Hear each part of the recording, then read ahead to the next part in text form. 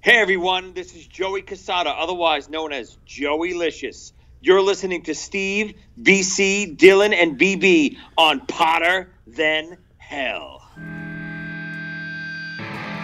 Ladies and gentlemen, welcome to the Podder Than Hell podcast.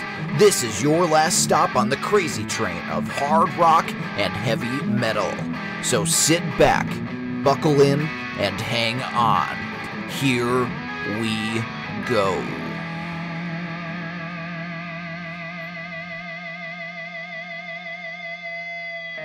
Hello, Podder Than Hellions. Welcome back to the Podder Than Hell podcast. This is Steve, your host. I'm joined this week by BC. and BB. with the Vinnie Vincent shirt on today. Happy birthday. Yay. and on keyboards today will be Dylan.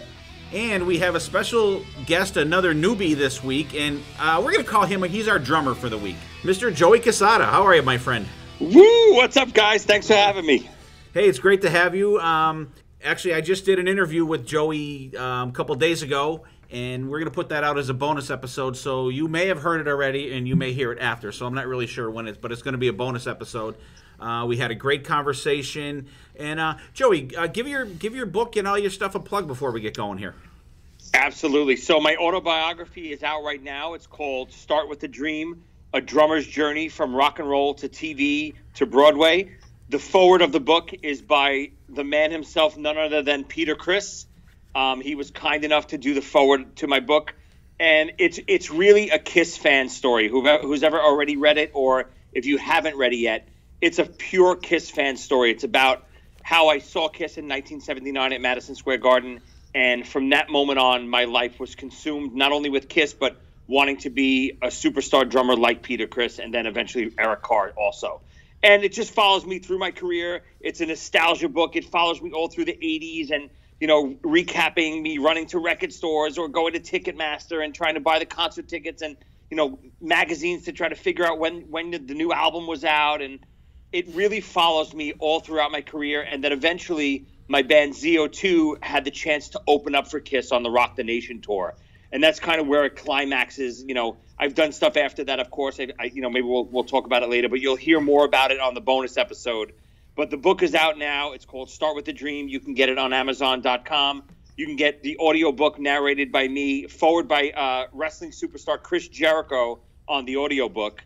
And uh, that's on iTunes and, and Amazon as well. I think it's it's a fun read. Like I said, if you're a Kiss fan, it's a really feel good Kiss fan story. Lots of behind the scenes stories of me on the Kiss tour. Yeah, thanks, Joey. And like I said, uh, uh, the interview with Joey was fantastic. Uh, he touched on it too with him narrating the book. Awesome. And you guys out there that listen to the show, you know, I've talked about Steve Lukather's book, how great it was, you know, listening to his book with him narrating it, that it was just a, you know, sit, like sitting down having a beer with a guy. Same exact thing with Joey's book. It's just a fantastic. It's just like, you know, sitting there shooting the shit.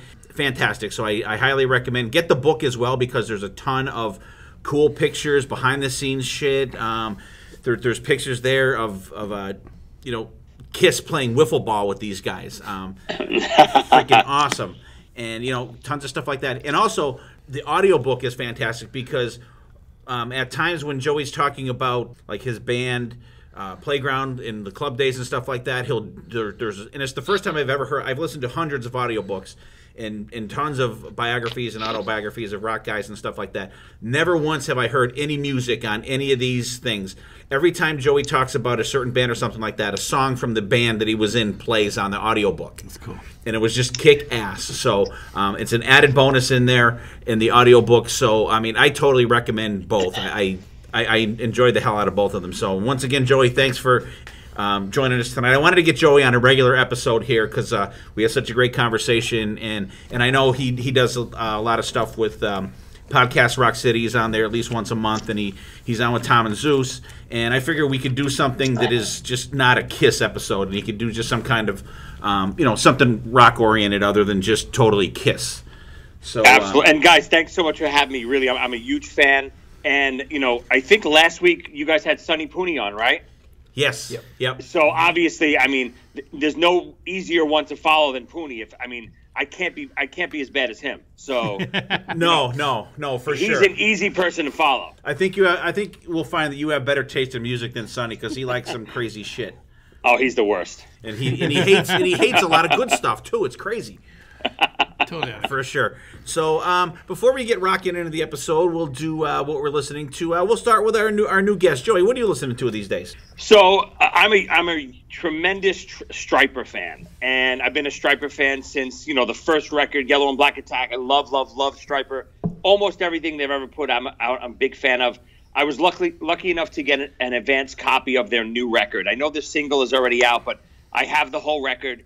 It is it's phenomenal. The production, the songs, everything about it. The new album, I think it's called um, "Even the Devil Believes." I, Yep. I think that's Yep. that's what it's called, and uh, it just kicks ass all the way through. It's it's heavy Stryper. There's a couple cool melodic songs which I actually wish they would get a little bit back into more of the melodic stuff. They they've been so heavy for so long, you know, trying to prove something.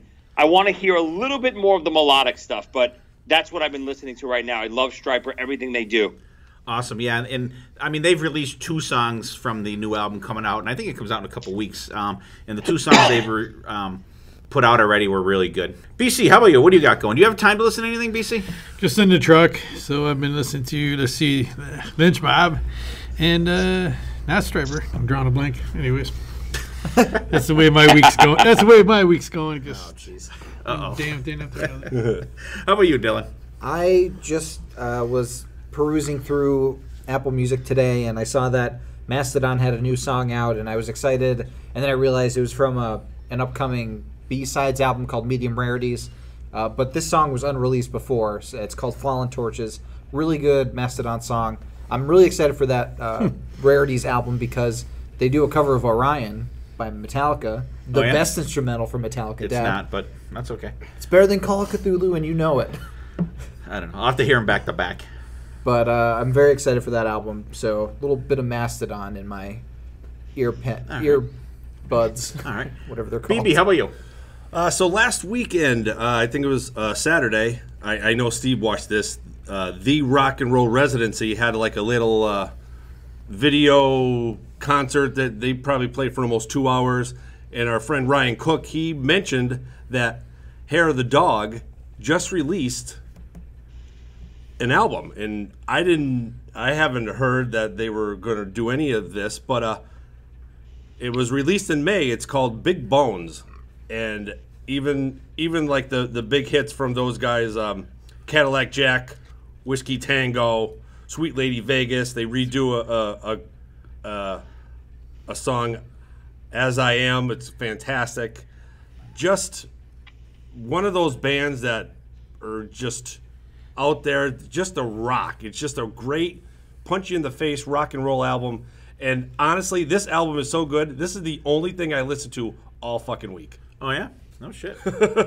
And that's odd for me every day. Boop, Yeah, it's like a compilation of the, from their three albums. It's Yeah. fantastic, and and uh, Ryan and, and Jeremy and Phil, great great guys.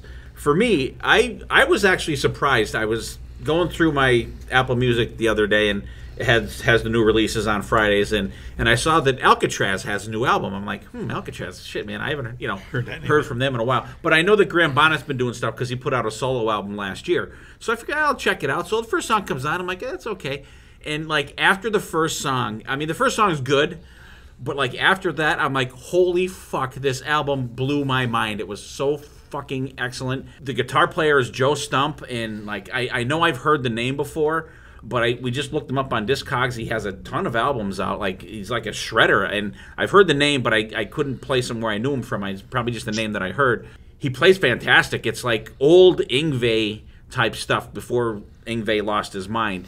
Um, very, very good album. Um, the the vocals on it are, are a little straining, I think, for Graham Bonnet, but you know what? The album is so good, I could I could absolutely look past that. And a band that we saw on Kiss Cruise 8, Thundermother, they have a new album out. Great hard rock album, all female band. Um, just a good hard rocking band. Kind of like uh, like a female airborne BB Okay. kind of like that kind Love of uh, thing. Yeah. And um, and our buddy uh, Mark Anthony Kay, I, he put out that um, the Dark Monarchy album with uh, Joe Bailey that he collaborated with on the last Project Gemini album. I've been rocking that out. That's really good too. There's got some great songs on there. So um, that's what we're listening to. I have Alcatraz and Thundermother and the Dark Monarchy. Uh, BC's got Lynch Mob and he's not sure who else. Um, BB's got Hair of the Dog, Big Bones. Um, I heard you like Big Bones, BB. I, I am six three. I'm not fat. I'm big boned. That's right. Um, uh, Dylan's got the new Mastodon song, "Falling Torches," and uh, Joey's listening to the new Stryper album, "Even the Devil Believes," which which I can't wait to hear. And actually, it's it's funny you brought them up today, Joey. Uh, I pre-ordered the vinyl from Frontiers Records, uh, and BC did too. And so I get an email today, and and I looked it up. I paid it was like forty-two dollars for the shipping and shit like that. It was coming from Italy or, or wherever they're based.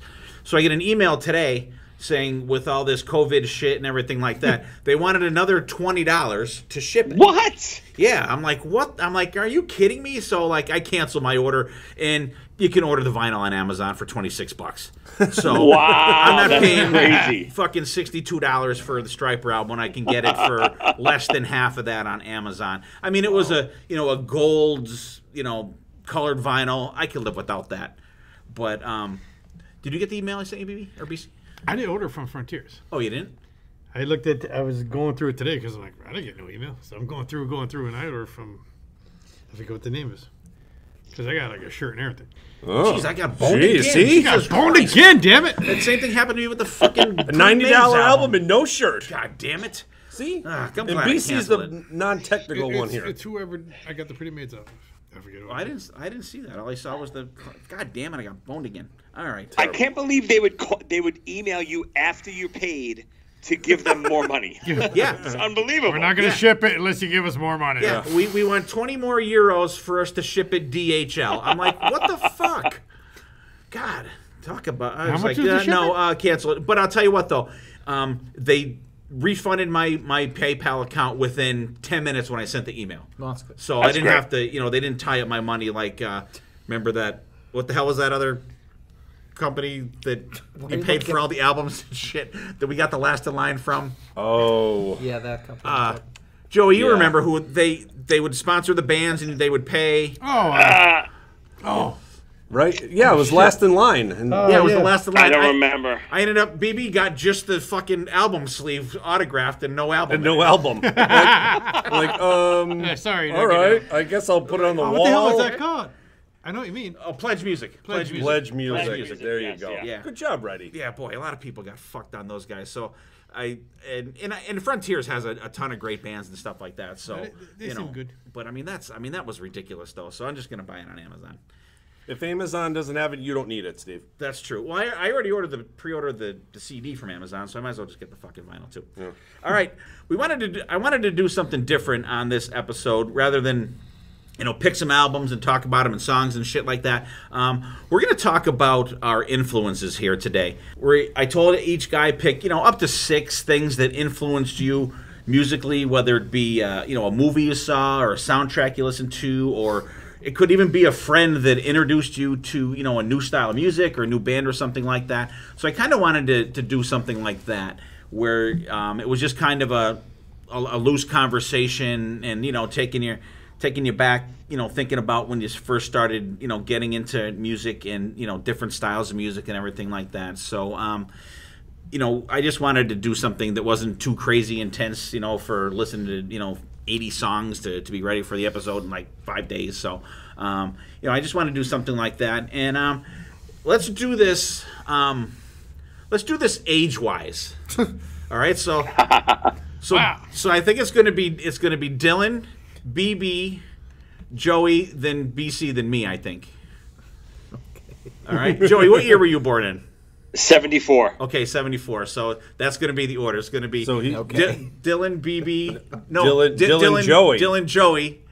BB, BC, you. Yeah. Okay. I was where born were in you? 72. Oh, 72. Okay. Come on! All right. Here we go. Joey, I, I, I do this all the time. I, I just, I, and, and I'll probably lose track of the, you know, what, let me write the order down right Write now. the order down right okay, now. Dylan, You know I'm first. Joey. And then we'll do the gems, and then we'll do three more. Then we'll do BB. Part of the Hell BC. podcast. You come for the conversations. You stay for Steve trying to figure out Yeah. what the hell's going on. we have hours and hours of blooper reels. For you. okay, um, Dylan, Okay. go ahead, my friend. Take it away. So uh, this was this was interesting to think about because music has been a very big part of my life I, I mean, growing up with Steve Wright, it's almost impossible for it not to be. Even Carson, uh, my brother, had a big music involvement, although he he strayed away and Yeah, and some weirdly he goes terrible. He goes country and, and rap sometimes. But I mean, I also do rap at times. Like I'm I'm probably I probably have the most diverse music tastes are at the table right now. Exactly. Uh, but uh, so that that's why this list is going to be a little different, I think, from everybody else's. You know, even even without factoring in the age stuff, because I have some different avenues that I, I went down. But anyways, I'll start. I'm going to try and go a little chronological order a little bit. Uh, and the first influence, of course, was my parents, uh, Steve and Corey Wright. Uh, I say both of them because they both have different, very different tastes in music. Uh, growing up, we would be driving in our car, and there would either be Rock 107 on, our local radio station that does classic rock music, or it would be Magic 93, which is the hits of yesterday and today, which was more pop oriented. With Uh, my mom always loved 80s stuff like Duran Duran, and um, she liked INXS, even though they're more 90s ish. But uh, she was very much into that kind of music. And my dad was into, uh, I don't know, I don't know what my dad was into. but- Everything. Everything. but I grew up in a in a house where there were Iron Maiden cloth banners on on the walls that would scare the shit out of me as a kid. Um, I remember one time because we used to live in rooms that were basically right next to each other without a door between us, and he would have the radio on, and Enter Sandman would come on at nine o'clock at night. And the hush, little baby, that part scared the shit out of me as a kid. I was terrified. Dylan can't sleep to this day. Um, and then Little Steven's Underground Garage, the intro to that freaked me out. and that's when I would turn it off because I hated that show. That like that intro was so creepy for some reason, even though the show itself was like not even close to that. But uh, I would say that the first big influence on my musical taste was with both my parents, and they, they sort of guided me in that direction. Uh, the next thing that, that really grabbed me was the movie Almost Famous, uh, directed by Cameron Crowe. A great movie about a, a it's basically almost autobiographical for Cameron Crowe when he was a music journalist as a kid. He would kind of lie about his age to get backstage at concerts and interview bands. And the main character goes with the band, the fake band Stillwater, which those songs are actually really good. Those songs good. were fucking excellent on there. But it, that movie was the first movie that I could remember the music being such an important part of it uh, that I really enjoyed. I, it got me into the Who. I was in a huge the Who phase back in the day. That was my band. Uh, I'm sure my dad remembers how much I was like, I want Tommy, because that the one scene where Zooey Deschanel's character is like, if you if you listen to Tommy while staring at the flame of a candle, you could see your future. And that, that was something that blew my mind. I was I was so fascinated by that. And I listened to the album, and it's such a weird album, but uh, it's so good. And that that started me on my journey of '70s bands that was a little bit away from Dad's metal. He would dabble in the '70s stuff a little bit here and there, but uh, that's that's what got me towards you know a little earlier than heavy metal. It was you know classic rock stuff. Uh, the next thing that influenced me was actually Saturday Night Live. Uh, the musical guest on Saturday Night Live, specific musical guest. You know the Don Pardo voice. You remember Don Pardo? Oh, yeah. Uh, that that was a huge influence on me. Just uh, the very first time I watched Saturday Night Live, where I was old enough to stay up and and actually be awake for the whole thing instead of falling asleep. It was Amy Adams hosting with uh, the van, the band Vampire Weekend playing. Um, yeah, you guys have never heard of them. They're an alternative band. They're good though. but uh, I remember just watching Green Day play, and Will Ferrell would do uh, did his more cowbell sketch on one of his like with one of their songs. He would play cowbell with them.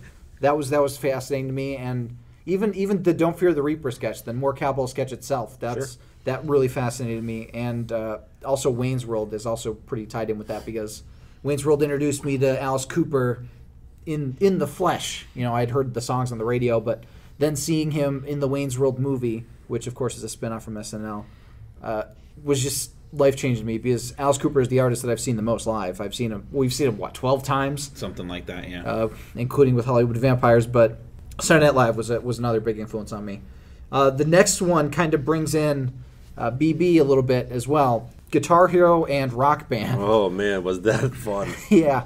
I remember being at one of our, our friends' house. We used to have Fourth of July parties. Well, we, they still happen, but we didn't have it Yeah, this year because yeah. of COVID.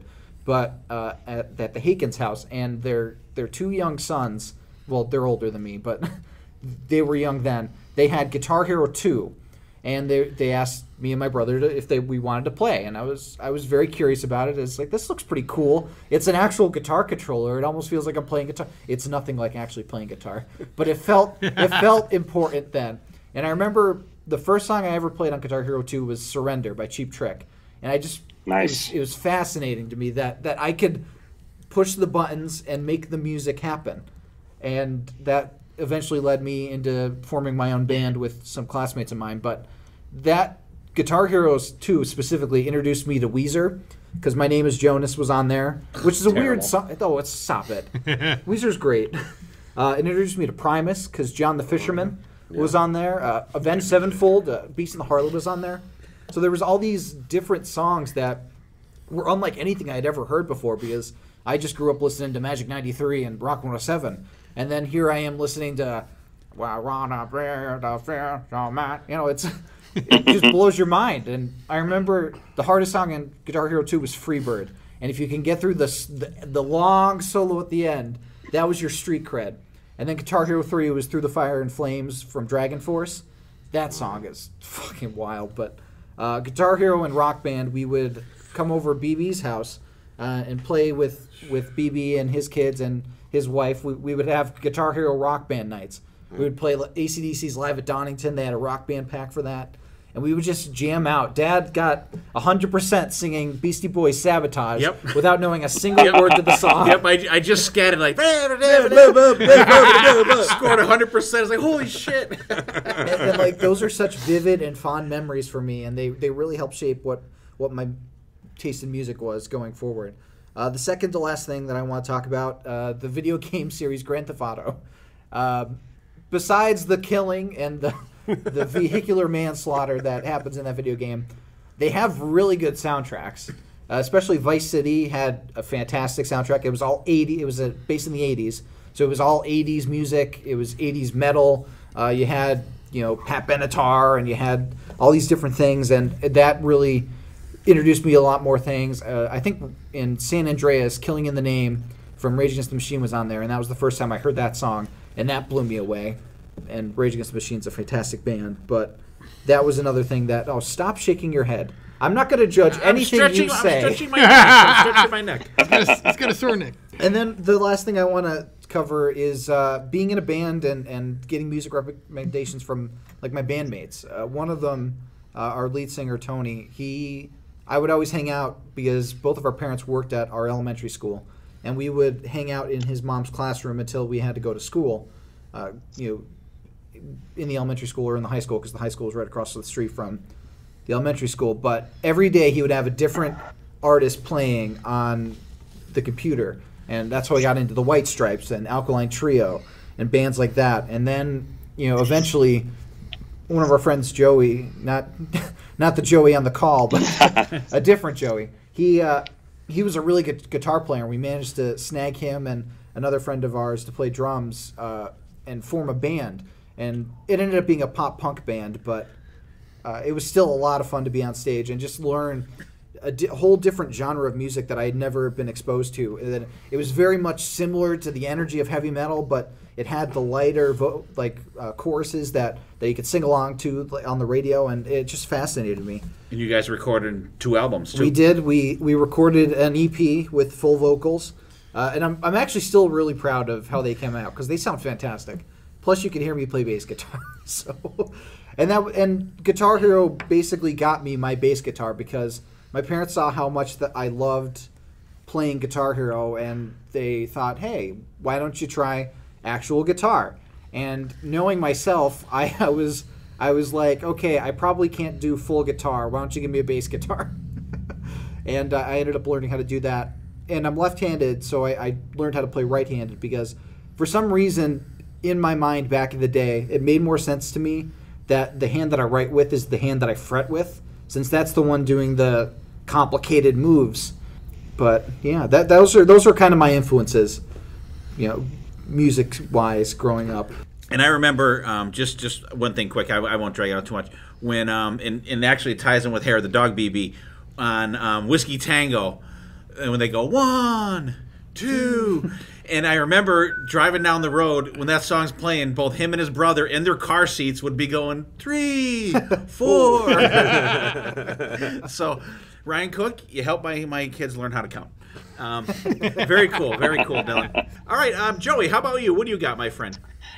All right. So I went with, you know, some of these things are very general things, some of these things are very specific. So for me, age is so, so important when it comes to influence. I, I always felt, and I even feel today, that, you know, between the ages of like nine and 13, those four years are so influential and it, it, it shapes not only your musical taste, but just it almost shapes your personality. It shapes your love of, eh, you know, things in the world, pop culture, whatever it is so those years were so so influential on me. You know, some a couple of things are a little earlier, a couple of things are a little later.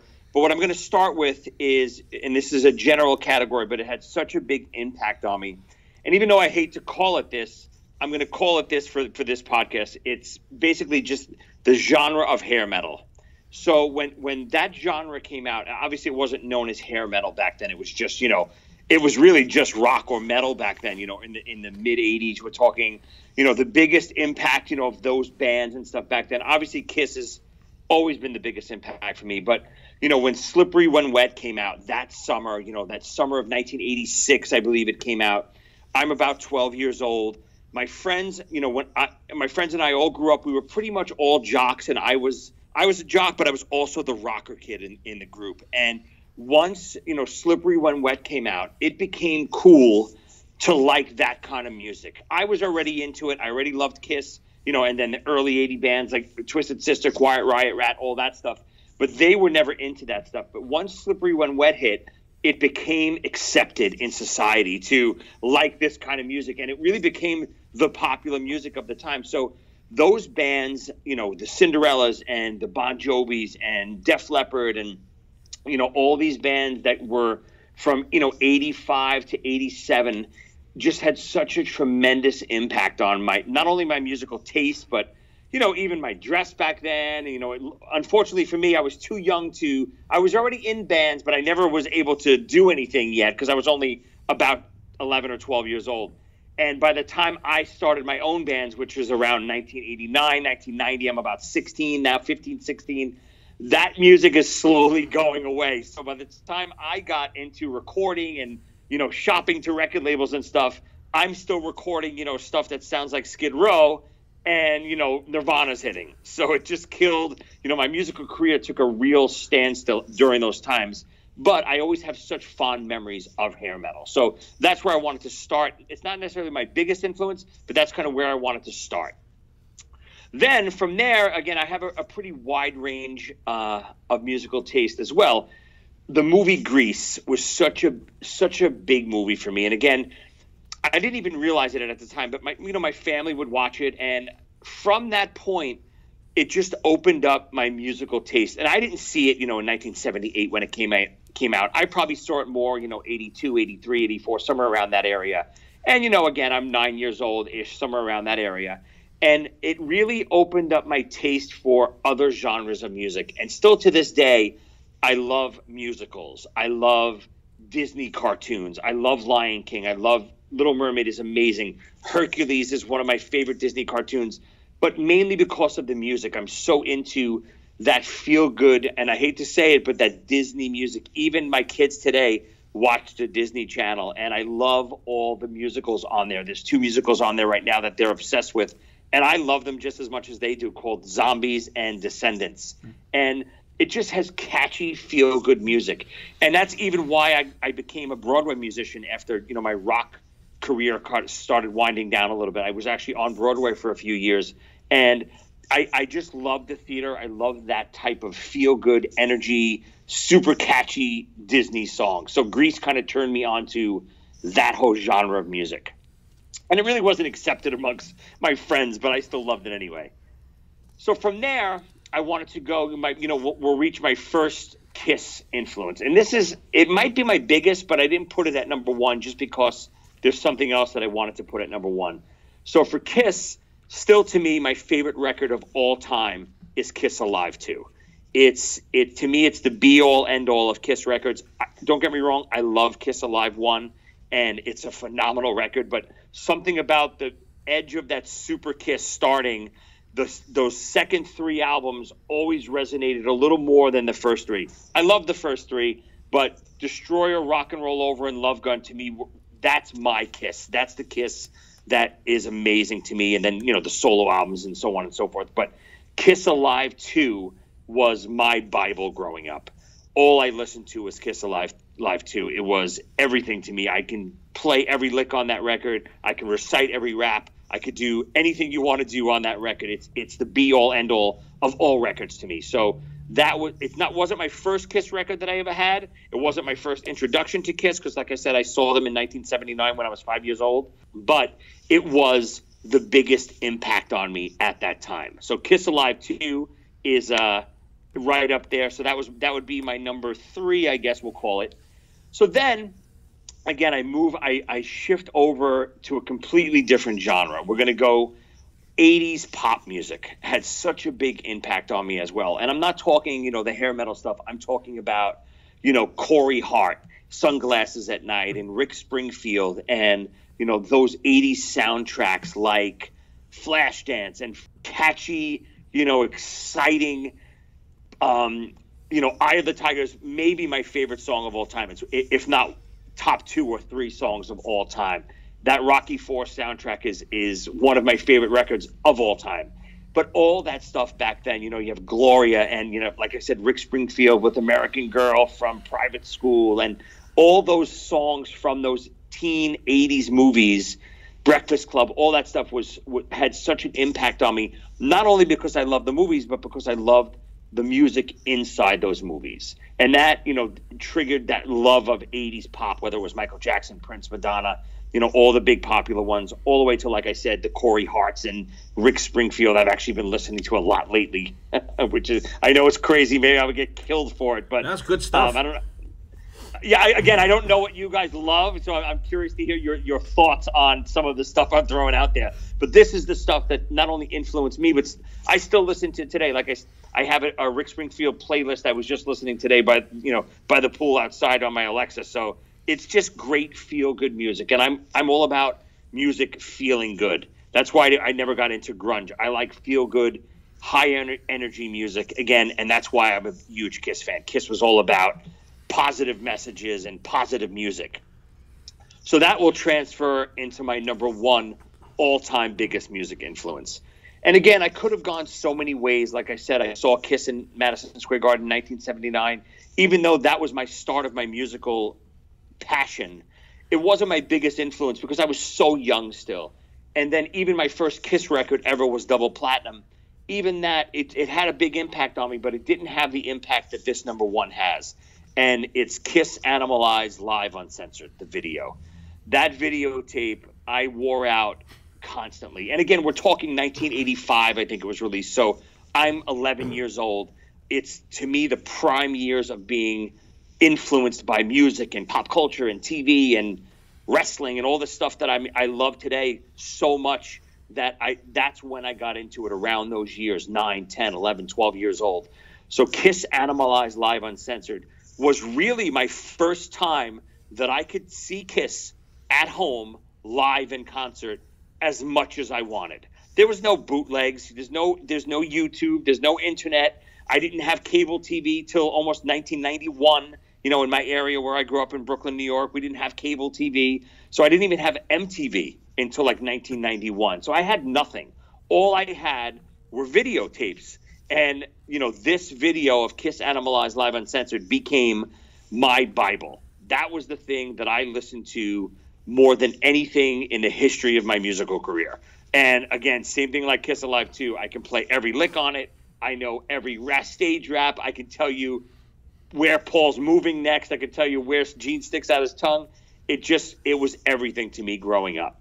So that would be my top five. There's so many more, but I, if I had to narrow it down, those would be mine. Awesome.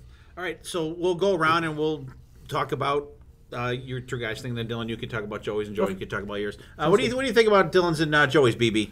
Yeah, two great stories and, and more Dylan's because you know I watched Dylan grow up from a, a wee little lad that he was to pulling down all the CDs on Steve's um, CD rack, and we would just sit there and watch and giggle and then pick up all the CDs and put them back. And but uh, just great memory, especially from for like Dylan playing um, Guitar Hero at the house. It's just it's just great to see. You know what a young, great walking jukebox that that Dylan has turned into be, because it's great to have him here. He's always that young. He always has that different aspect of the music genre that that you know sometimes we like, sometimes we don't like that we pick on, but just fantastic stuff. And Joey Joey's almost you know pretty much you know we're pretty most close to the same age, so you know the hair metal, the Kiss, you know that's also right in my wheelhouse. And uh, just great stories from the two of you. It just you know brings back a lot of memories. Really cool. Cool. All right, BC. Well, like BB said, watching Dylan grow up, and I think we're all there for that CD rack. Didn't we? A couple times. A couple of times, not once, not twice, probably three. Anyways, I mean, and here we are. I mean, from growing from a little boy up to playing in a band, and like you said, he always brings the The young side, the Younger young the younger side The uh, of music. I would say like the younger crowd, maybe. And, and Joey, I mean, listening to your, your stories, there's, I mean, we're close in age. Just growing up, I mean, it's, you look back now and it's like, wow. I mean, we grew up in such a great time, all of us. And, and, Dylan, he, he he got in before it got too crazy. but just stories are just are opening my mind so many more memories as I'm listening to you guys talk. It's like, wow. Yeah, and um, I mean, obviously, I, I know Dylan's story, um, uh, but I mean, it, it was such a. I hope he was there for it. it. It was such a, a proud moment as a father to see my son play up on stage with a band in front of people. It was like so cool. It was like. I've never told this to anybody, not even my wife. I, I cried a little bit when I first saw Dylan up on stage playing. I cried a little bit too. It was, uh, it was it, it was it was a proud moment. It was very cool to see him do that. And I've always said, I mean, I'll say bands suck and this and that or whatever, but you know what? I honestly give credit to anybody that has balls enough to get up on a stage and play in front of people. You know, and, and I've done it a couple times, um, not very well, mind you, but um, it, it's a whole different story from being in the audience and being on the stage, and, and I'm sure no one knows that more than Joey here. But um, very cool, yeah. And and and, my, and actually, since back in the '90s when Dylan was pulling my CDs off of my um, CD rack, they still have never ever been back in alphabetical order since then. Listen, I tried. I tried to implement that system. It's just it That just was- never worked out. That was my own personal penance for Yeah. for that. and um, and, and the uh, almost famous movie was was fantastic. And every time I hear Tiny Dancer, I think of that movie when they're singing it in the bus. It's just freaking phenomenal. Um, and and Joey's Joey, I mean, I could go boom, boom, boom, right along with yours. Um, the uh, Kiss Alive two, my absolute favorite um, Kiss Live album. And you know, like you say, everyone says Kiss Alive, but like that was the first Alive album that I had from Kiss. I've told the story before. I had to walk through a snowstorm on Christmas Day to walk down to my aunt's house to get it. Um, and it was both ways. And it was it was with bare feet. Um, and but I mean it was it was well worth it. Still my my favorite Kiss album to this day. Um, the Animalized Uncensored, and and I must have watched that hundreds of times because like and, and that's now and like you said that's that's a blueprint for you when you listen to stuff like that much and watch it that much that's the version of the song that you always picture in your mind even now when you see them play it you you know you, you want to say the oohs and ahs that paul said in between the the in between Yeah. the you know the, the verses and stuff like that and and it's it's etched in your mind. And and i oh, every time i hear young and wasted i picture eric carr singing it. Uh, just you know stuff like that friggin' excellent the 80, 80s pop stuff and the uh, grease movie soundtrack. I was actually gonna bring that up but I'll, I'll, I'll switch that out and i'll just talk about it now real quick. Love it. I mean and that was like and that brought in like you know late 50s 60s music into what we were listening to in the late 70s and 80s but like they it was good stuff like the shine on us stuff in that and the the original songs in there and stuff like that even like the slower ones were you know like hopelessly devoted to you was like a fucking phenomenal song um, just a great soundtrack but like really it's it's always cool hearing people's influence i can't believe we've never done this show before Yeah. you know, I mean, uh, very. I, I love hearing stuff like this, and this is just like shit we talk about on the porch having a couple beers, and we're just uh, not on the porch. We're just having a couple beers talking about it now. so uh, very cool. And so we're gonna do our our gym. So- what? Are you gonna let? Oh yeah, you guys go. See. Joey, I told you I would fuck this up at some point. All right, uh, Dylan, go ahead. Then we'll let yeah, we'll let Joey go. the one thing that really popped out to me, and I can't believe I didn't mention this, mention this in mind, is the musical portion of, of your stuff because musicals were a huge influence on me. Um, when I was younger, I would like do stage shows because that would my, my mom thought that it was a good way for me to get some confidence and work on public speaking because I had I had to go to speech therapy for for the longest time, and musicals were just eye opening to me that you could tell a story through song, and that's what really opened my eyes to that. Like Mary Poppins is still one of my favorite movies of all time. Uh, I, I have such fond memories of that movie, and I still cry every time I see it. And actually, fun fact for everybody on the podcast: uh, you know the the sequel that just came out recently, Mary Poppins Returns. I cried four times watching that in the theaters. It was such a magical experience for me. The new one? Yeah, like when when you see Mary Poppins, like there's like the cloud cover and Lin Manuel Miranda's holding the kite string with the kid, and then the clouds part and Mary Poppins appears in the sky. Like I got chilled, and then when Dick Van Dyke's dancing on the table, Dad, come on. Like, oh, it's so good. But musicals were, were such a huge part of, and still are a huge part of my life, especially the Disney ones, uh, like you said, because, you know, as a kid of the 90s, I grew up in the Disney Renaissance where The Lion King was coming out, Mulan was coming out, and uh, Little Mermaid, and, well, that was 89, but uh, Beauty and the Beast, and all these wonderful movies that are, are able to tell their stories and show the characters' emotions through songs. And that's, it caused me to look at the music that I listened to before in a different light and think about the, the meaning of songs. So I, I'm really glad that you mentioned musicals. All right, very cool. Joey, how about Dylan's list? Yeah, you, uh, Dylan, how old are you again? 25. So it's so funny. Your list. I, I'm, a, I'm I teach music a lot too. I'm a, I'm a drum instructor. I'm a musical director, and it's so funny hearing your list because so many kids today, and it, it's it's a it's a really phenomenal thing. We're musicians today, should I should say, rather than just kids. We're influenced by Rock Band and Guitar Hero. Every student that I have it's it's I have one student that can play almost every single Beatles song. He is he's a, I think he's 11 years old and he can play every Beatles song on the drums completely like Ringo, only from Rock Band. He had never owned a drum set before he came to my school and started learning, and he immediately set his first drum set ever and could play almost every single Beatles song note for note because of Rock Band. So when you were saying all that stuff, it was like I couldn't believe that it, it's so true that it, influenced a, a whole generation, not only of people but of future musicians. I, I, I can't, it's it, it's an amazing accomplishment by those companies because it really is creating the next generation of hopefully rock stars. Absolutely, and, and, and it's funny, Joey, because um, when when Rock Band was out, uh, a live DVD from Extreme came out, and um, I think uh, "Do You Want to Play" is on that. I think. Yeah, it's Is that- on uh, Rocks the 80s. That was on- the like hardest song. Yeah, and um, you know, Nuno said, you know, before they they started to play the song that you know people were you know influenced by this, and he's like, "Fuck that! Pick up a real guitar and and play and learn and play in front of people." And we were Right. right, in our midst of our rock band playing. And, and that night I said, you know what? Fuck that. I'm gonna learn. I'm gonna buy a guitar, learn how to play it, and I'm not gonna play rock band again until I play in front of fucking people.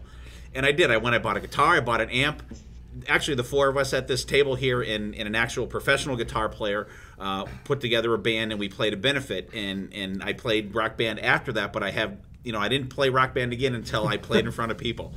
So I mean it was it was cool though. It was it was you know and, and, and just that alone him saying that wasn't was an influence on me picking up a guitar which you know sadly I haven't really picked one up you know in a long time but they look cool on my wall I mean, thank God, thank God for, for Guitar Hero and, and Rock Band because obviously, you know, there's no more MTV, there's no more of that stuff that influenced the, you know, the little bit of the older generation. Thank God the kids of of Dylan's generation and even, you know, maybe even up to today have those outlets that they can not only kind of quasi learn how to play instruments, but they're getting introduced to all that great music too, where you know they wouldn't hear it otherwise. Right. Yeah. Yeah. And they have the Van Halen pack, and they have the Aerosmith Yeah. pack, and the AC/DC live one. Right. Metallica. Yeah. Oh, Meta- I didn't. Oh, that's right. I forgot the Metallica one too. All right. Very cool. So, as in Podder Than Hell tradition, we are going to let our guest pick the gem song. So, uh, go ahead, my friend Joey. So again, so I was torn. Uh, I- as we spoke, we said before, Steve and I did an interview earlier this week too, as, as for like a bonus episode. So, you know, he kind of swayed. I was going to go one way, but he kind of swayed me another way. You know, I I originally was going to pick. I'm a big Enuff Z'Nuff fan, and Enuff Z'Nuff is a band that I think gets lumped in with a lot of you know cheesy music, maybe from mm-hmm. back in the '80s, where they don't they weren't taken serious because they're they're kind of known as a glam band for Flying High Michelle and stuff. But they released about ten so solid records after that, all through the '90s and the 2000s. So I was gonna go that way and tell people all about Enuff Z'Nuff and the, the album and song to listen to. But instead, Steve talked me into going with my own band, ZO2, who, like I said earlier, we toured with Kiss. You know, we opened up for every band you can think of, you know, from Van Halen to Scorpions to Kiss, all these bands. And I would love to pick one of my tracks off our second record called Ain't It Beautiful. And the song is called If You See K. It's a very Aerosmith type, straight ahead rock and roll song. We were a power trio um, guitars, bass, drums, three vocalists, harmonies. We all sang lead also. It's a fun, again, feel good band, very bluesy rock and roll band, much in the vein of Kiss and Aerosmith. So that's what I'm going to go with. I'm going to go with my band, ZO2, off our second record, Ain't It Beautiful, and the song is If You See K.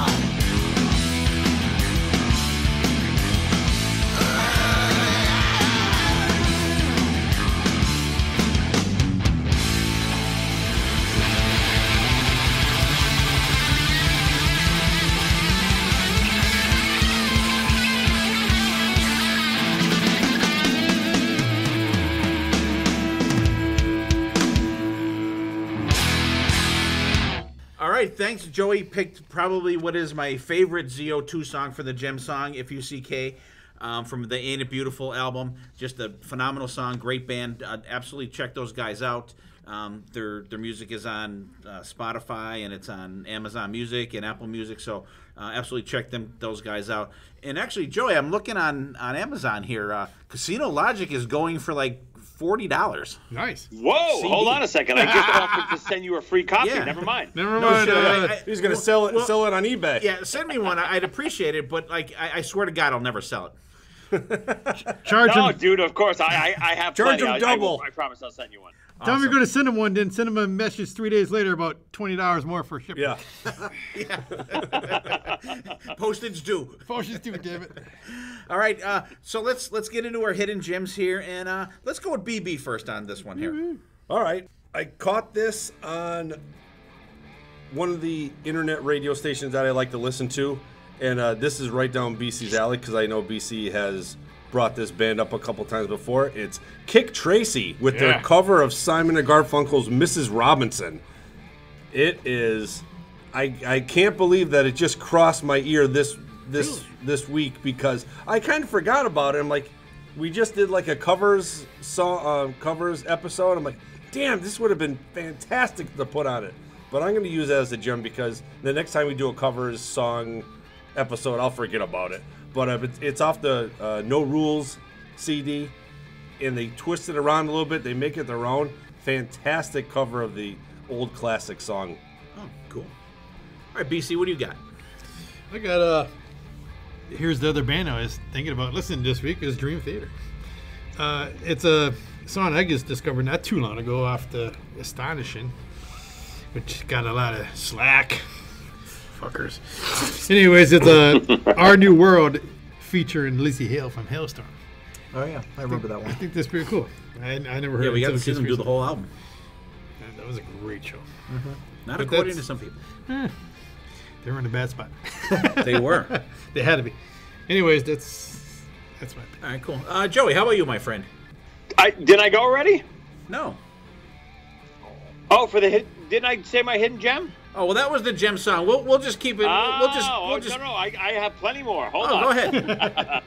well, I'll come back to you. So, Oh no, go ahead. perfectly, perfect. So now I can get my Enuff Z'Nuff in Enough's there. enough. Oh, there you go. you go. Yep. Enuff Z'Nuff to me is such an underrated band. Like I mentioned before, they're lumped in with you know a lot of '80s hair bands and the later versions of the '80s hair bands when they maybe weren't too good anymore. You know the I won't even mention some of the bands, but we know who you mean. uh, you know enough. Thank you. Enuff Z'Nuff. Had they released so many records throughout the '90s? They I'm telling you, at least 10, 12 records that every one of them is better than the next. And probably my favorite out of all of them is the record called Paraphernalia. And it's I, I forget what year it was released, but it's it's much later in their in their catalog. It's just top to bottom one of the best records you'll ever hear. There's a song on it called um, "Ain't It Funny," and it, it, it's it's just a phenomenal track. It's the whole record. It's, it was so hard to even pick one song from the record, but I would go with "Ain't It Funny," and it's it's just a solid rock track. One of the best songwriting duos I've I've ever heard. Again, I know I it's maybe sacrilege to a lot of people, but Donnie Vie and uh, Chip Z'Nuff they just have so many great songs in their catalog. That's what I'm going to go with today. Enuff Z'Nuff. Ain't it funny? Awesome, very cool. Yeah, those guys played on Kiss Cruise. I think it was six, saw them like three times, and it's just Chip Z'Nuff now in the band because they obviously, Right. you know, had parted their ways. But I mean, great, and they, you know, they they shook up all their their set lists. I mean, very cool. Chip Z'Nuff. I'll tell you what, he is a funny bastard, man. Just even just hearing him talk, you just laugh because he has that one of those voices that's just like you're like this guy's a friggin' riot. He could be reading the you know like a cookbook and he'd be laughing because the, the the way he talks. Uh, very cool. Um, Dylan, how about you? Uh, my hidden gem is from the soundtrack of a movie called The Crow. Everybody remember that movie? Mm-hmm. Brandon Lee's last movie, unfortunately, because the prop people did not do well with the gun stuff. They did not do good. That's a very sad thing, but a very good soundtrack for the movie. Uh, the song that I want to feature from it is from Pantera. They did do a song called "The Badge." Uh, you you might not have heard it because it's only it was only on this uh, this album. It's a very cool song. It's very Pantera. Uh, I could have featured uh, Rage Against the Machine song, Dad's favorite band, or I could have featured uh, a, Joy Division cover or Nine Inch Nails covering a Joy Division song because that's really in format. But I decided to go with Pantera, the badge. All right, cool. Yeah, I never heard that. I didn't even know they were on there. Yeah, Yeah. There's, Henry- there's one song on that album that's fantastic. I just I can't think of that. Henry Rollins has a song with the Rollins Band. Ooh, Uh, that's a cover of a Suicide song, Ghost Rider. That's cool. there's there's one on. Uh, Stone Temple Pilots, Big Empty. I'm just gonna read through the list for you. The Cure, Burn, Probably not. uh, Machines of Loving Grace, Golgotha, Tenement Blues, uh, da, da, da, Violent Femmes, Color Me Once, Milktoast Helmet, uh, Slip Slide Melting uh, for Love Not Lisa, After the Flesh, My Life with the Thrill, uh, Kill Kult, The Jesus and Mary Chain, Snake Driver. maybe that's it. That might be. I don't know. There, there's one song on that soundtrack is a- amazing. It's a good soundtrack. You're It's gonna a have to very get good back to soundtrack. us, BB. yeah. I'll have to do some homework. I say and, uh, use that for your gym next time. okay, perfect. There you go. By the way, here's that song that I couldn't think I of. could last time. remember, and uh, All right, and, and mine this week, I'm going to go with a uh, a new podcast that came out. It's I think maybe five episodes in. It's called Slam Fest, and um, it's a really good podcast. The guy that does it is Brad Rustoven. It's pretty much like um, just talking about going to concerts, concerts that he's gone to, and I think he's in the the mid Midwest area there uh, of the United States. But um, it's cool because actually his his first concert was Kiss Hot in the Shade, which was which was mine, and and it was cool because he had um, I think uh, Slaughter and someone else because I, I had Slaughter and Little Caesar, but he had maybe Slaughter and Winger maybe. And but he goes through the set lists and how, how the, the stage was and how the show was and like the pyro and stuff. Then he goes through the the opening bands and the albums that they had out at the time. Really interesting podcast. So he's a new guy out there. You know, give him a shot. Um, very cool, very interesting podcast. And um, you know, did, did some Whitesnake shows. And I think um, this week uh, was a Scorpion show from. See, I said Scorpion's done.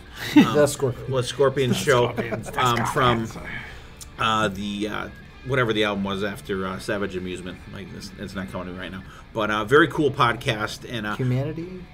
no, no, that was no, that was wait after that. So uh, so check him out, um, Slamfest podcast. So uh, there's our hidden gems for this week. Joey has Enuff Z'Nuff from the Paraphernalia album, Ain't It Funny. Dylan's got uh, a song from the Crow soundtrack, Pantera, The Badge. BB's got a little. Uh, he's knocking on Mrs. Robinson's door with Kick Tracy. Checking that out. Uh, Mr. BB, you're trying to seduce me. that's you? right. And uh, BC's got Dream Theater, The Astonished from The Astonishing Our New World with Lzzy Hale. And I have the Slamfest podcast with Brad Rustoven. And the uh, concert this week that he talks about is from the Crazy World Tour from Scorpions. So uh, we'll get back into our influences. And uh, BB, you're up to the plate. All right. Um, I'm going to rewind probably 40, 41 years ago. Uh, one of my starting influences had to be my father. Almost kind of like Dylan, but he had a great album collection. He had a lot of doo wop albums um, from like the Dominoes, the Flamingos, the Drifters, the Platters, and he had a lot of early Beatles stuff. So not only the music, but he also taught me how to respect the vinyl, BC. The vinyl. Like he would he would be doing something, he would put a record on, and he'd kind of walk around the house and do stuff, and I'm, you know, five, six years old, and I'm like kind of just, you know, following him around, just watching and he would throw different albums on and I'm like, who are these guys, That Oh, well, these are the Platters, and you know, blah blah blah. And I'm like, oh, all right. So he'd show me the album, and you know, you have to take it out of the here, and take it out of the sleeve, put it on the on the record player, nice. And you know, you don't want to do this because you could scratch it, blah blah blah, yada yada yada. So really, my beginning, it, it has to be from my father. He would. There were days he would just put on a record. I remember he used to stack. He had a he had like a doo wop album. There's probably five of them he bought off television, and he would be able to stack them like five high on the on the player that he had, and it would go to the one, it would drop, and it'd play, and he'd just sit there and those relax, and that'd be like. Like it'd be like the coolest thing. I'd watch it and it, then boom, it dropped. I'm like, that's so cool, you know. So from the doo wop guys and then then to the early Beatles stuff, I remember. I think it's the uh, the red album from the Beatles, the greatest hits, 19 like 62 to 65, 64. Where they're looking down. They're looking down. I know there's one in blue cover, but there's a red. Well, they're cover. both looking down. One's Yeah. the early and one's later. I think it's, it's definitely the early one because the later one is blue and they're like Yeah. they, they're a little scruffy. but the earlier one, Norwegian Wood on that album, oh, it's just I can just remember just sitting in our living room and, and just enjoying that song with my dad.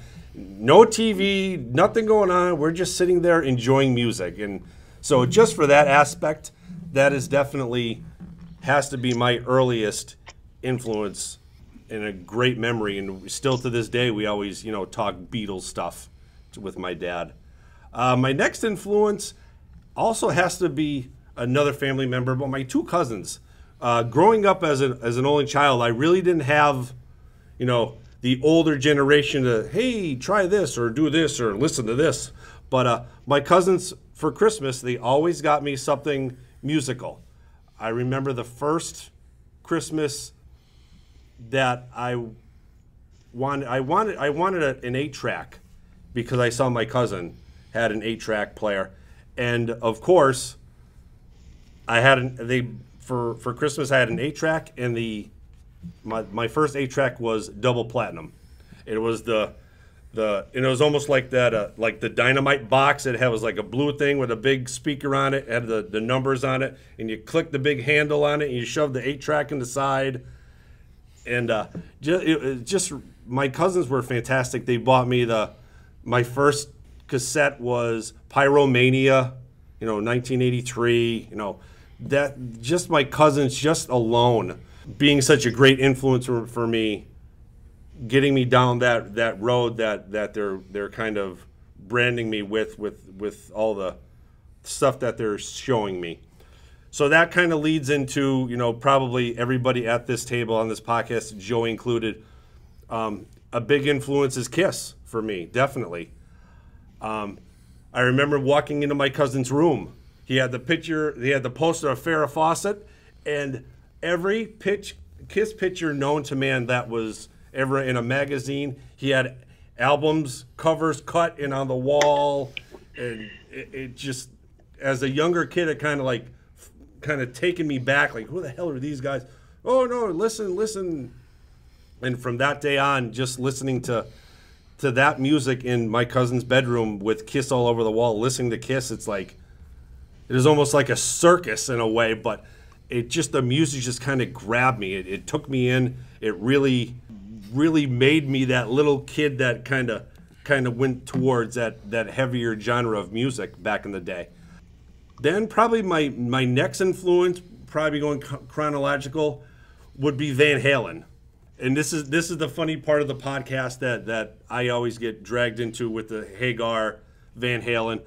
But my first influence was Jump from from Van Halen. Watching Eddie play that Frankenstein guitar on MTV, when I first heard that song, I'm like, wow, that that guitar is just crazy. Like, who is that guy? you know, and I've never heard anything else from them. And seeing him on MTV, the design of that guitar just kind of really sucked me in because I remember for the next for the next Halloween, I had Peter Criss makeup on. I had a flying V that I made out of cardboard in in fish fish um, fish uh, String. yeah, um, fishing wire. Fi- what do you Fishing line? Fishing line, yeah. um, and, uh, and and I made and I made the the Frankenstein design on this flying V cardboard guitar. Like I was I was like a mess. I think it was like sixth sixth grade for Halloween. Peter Crystal play guitar. Peter Peter Criss with with with an Eddie Van Halen flying V guitar. You know, like like the dude from Trick or Treat. like talk talk about like a big humongous mess you know? But uh, that just stuck in my head just that design itself and then going forward with with van halen from 1984 and then they break up you read about it in circus magazine you know then they then they bring sammy in with the the synths and all this other stuff the way they went down. And i always get the harassment like i said but i love both i love both van halens. It, it, some some people can't stand one some people can't stand the other i enjoy both equally like they they them to me finding van halen in 1984 it is it, you're in that bad window almost you know like wow this 1984 front to back's an amazing album. Then all of a sudden, like he's gone and this other guy's in there. You don't know who he is, you know, and because the internet's not there. You're just kind of reading reading from Circus. But uh, I always thought like 5150 was a fantastic album, just as good as 1984, and it's you know two different lead singers and a totally different avenue they went down. Definitely Van Halen is is is it has to be a big influence, and probably my my last influence has to be you two knuckleheads, because you you guys from going to the Kiss Expos to M3 to all these different concerts. I'm like the little kid in the back seat. They'd be like, "BB, who sings this?" Um, the Scream, yeah. It'd be like, who sings this?"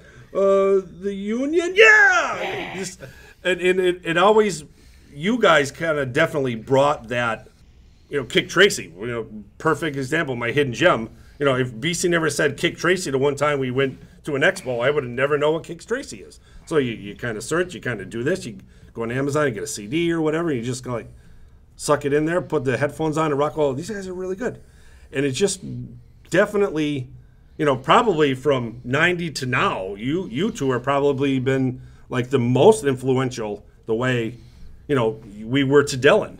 You know, it just bringing that '80s music, you know, that that window from like '83 to, you know, '89. That those bands had only released like one album that I never heard of that you guys knew of. It just kind of it broadened my my library of music, and it just you know it just kept growing and growing and growing, and still to this day, you know, there's certain bands I'm like, oh wow, I never knew they had this album, and boom, you put it on your phone, you listen to it, and like the old music from 1983 is new music today. So definitely, you know, last but not least, you two knuckleheads are definitely a, a big influence on my my my music. I think I'm gonna cry. All right, very cool. How about you, BC? Oh God! I mean, uh, I got not my mother, but uh, I'm gonna say uh, Judy was going to nursing school, so she would have study groups. So I was young back then, maybe seven, eight years old, eight years old, say. And all these guys are much older than uh, than me. And I remember just going in this basement of my mom's friend's house, and they're listening to Kiss. So I mean, of course, I'm like, I'm not saying nothing because I don't, I barely know these kids. They're older than me. I'm just like, they're like, hey, you ever listen to Kiss? I'm like, oh no. this is pretty much the first. And I remember playing all these Kiss albums, and he hands me. It's funny you guys were talking about before Kiss Live too.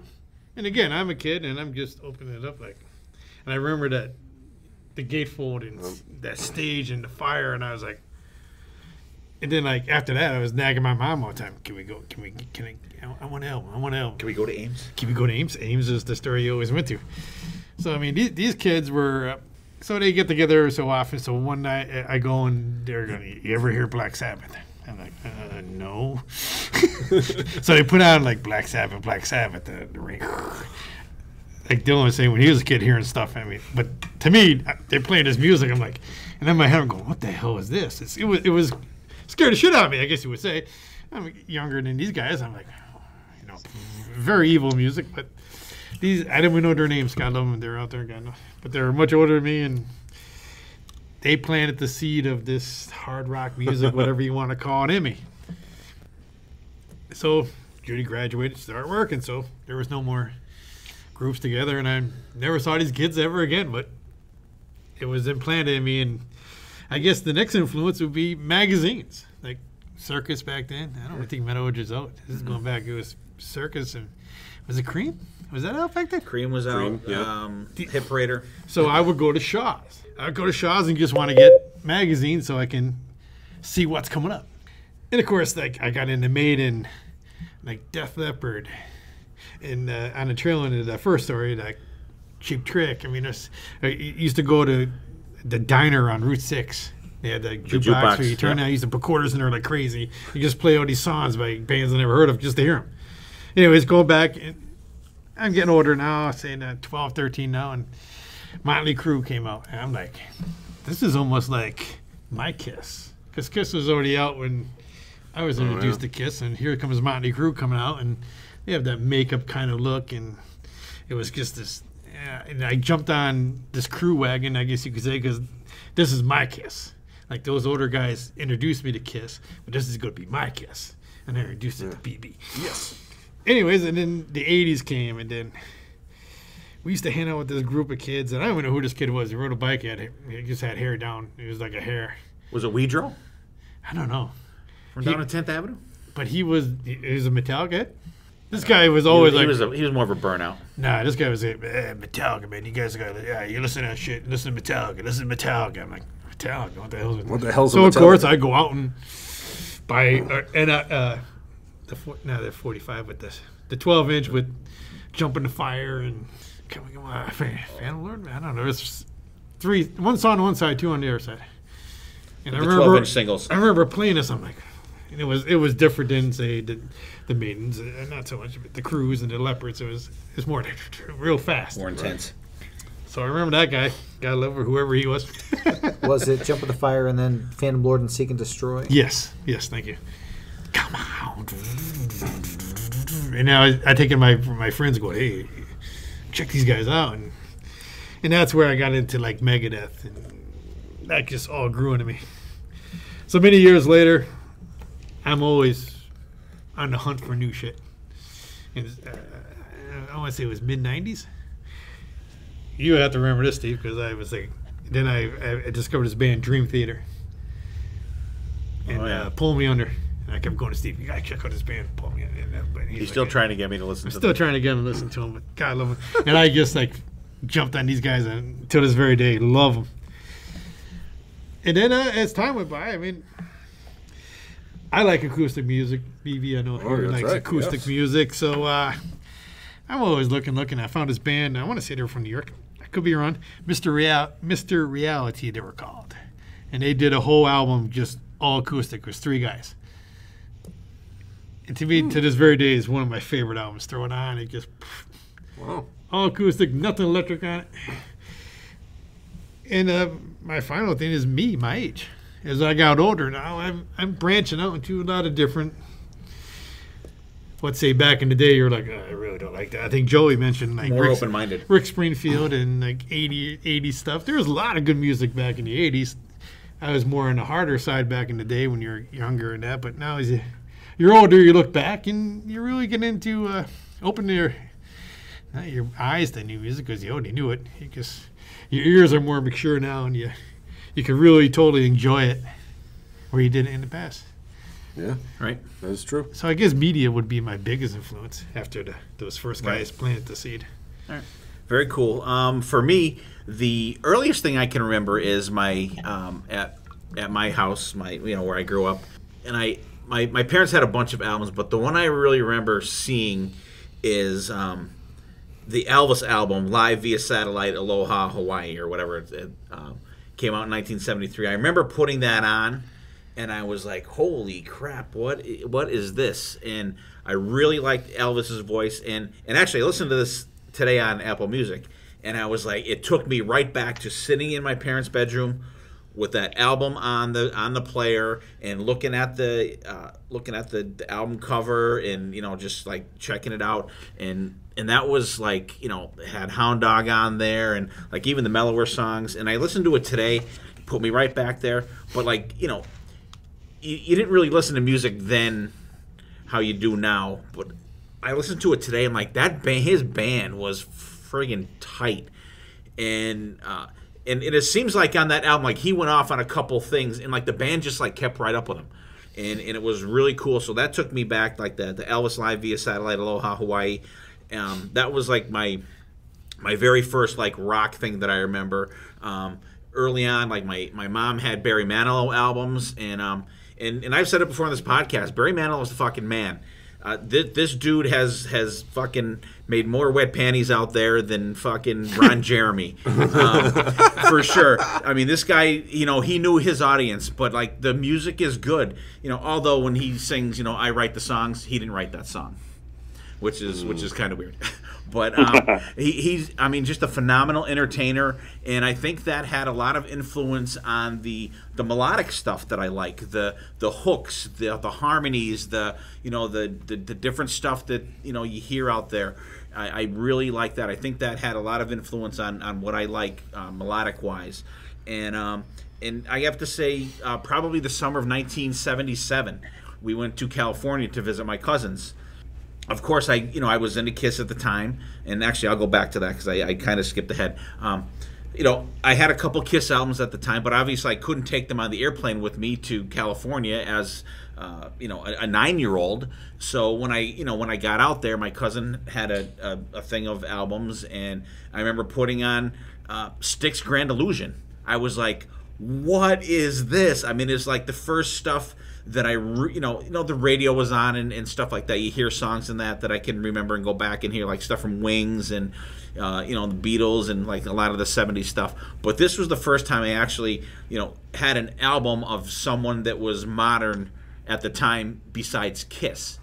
And I just remember hearing that dun, dun, dun, dun, dun, and like the keyboards and just the the big sound of that album. And to this day, it's probably probably my favorite album in top five of all time. Styx Grand Illusion, not a skip around there for me, and and that actually had an influence on the progressive music that I like now, like the uh, you know like the, the Mark's Project Gemini stuff, the like some of the Yes stuff, um, you know like I said more Styx and like more of the progressive type music. That's I think that's really what influenced me to you know branch out besides Kiss. That was like the first thing besides them that I listened to.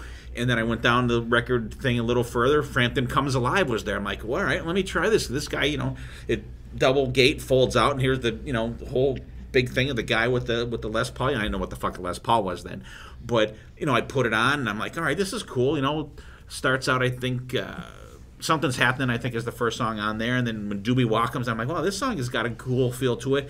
But then when boom, do you feel like we do? Come on, I'm like that song was like holy shit, and I'm like that song with the talk box and the the the mellower part with the keyboards and the talk box and talking and the jam at the end, and I think that really had a big influence on the stuff that I like now, like the the epic Iron Maiden songs that are you know ten to 13 minutes long or you know 18 minutes long however long um, empire of the clouds is. I think that had the influence on me a lot of people don't have patience to listen to those longer songs you know they're like you know like stephen michael for example stephen i love you buddy like he's like give me a you know three four minute song i'm good like i like when bands stretch out stuff and i think that was my main influence in that you know, and um, and that was a big one. But I will jump back, and I've said this many times in the show. Uh, my my buddy Shane Paragon, his brother JD Paragon, first Kiss fan I ever met. We were in his snooping in his bedroom, going through his shit.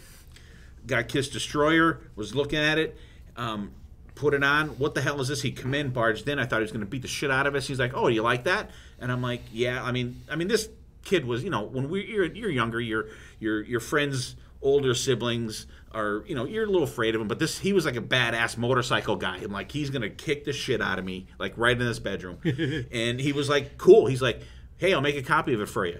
And you know, and I, I, you know, put that needle down like before he came in there, and you hear all the stuff in the beginning of Detroit Rock City, and when them, you know, that da na na na kicks in, like my life had changed right there. It was like I, I hadn't listened to that Elvis album for probably 20 years after I first listened to that first Kiss album, and and it's still, I still have a soft spot for Destroyer. It's not my favorite Kiss album, but it, I still, you know, have a soft spot for that album. Absolutely love it. And um, one thing that I really enjoyed and it had uh, a, a big impact on me was the show Hee Haw. Love that show. My grandparent, my parents used to go out Saturday nights, and my grandparents would watch us. You know, we had to sit through fucking Lawrence Welk because it was on right before Hee Haw. So that was like fucking painful with the bubble machine. One and a two and a. But then when Hee Haw came on, like I was watching that show and I'm like, oh my god, these girls are so pretty. Like, you know, you didn't think, Big. you know, you're young, you don't think of a her, man, she's hot, like that, you know, throw a jump into her, or anything like that. But I'm like, oh my god, these girls are really pretty. And then, but like when when Buck Owens and Roy Clark did that picking and grinning, I'm like, oh my god, these guys like are are great playing guitar.